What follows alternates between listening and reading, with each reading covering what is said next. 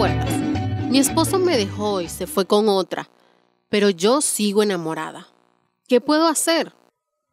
Orar al Señor y ayunar para que el Señor le saque el diablo de adentro y para que Él reconozca que después de Dios y su madre no hay nadie que lo ame como tú.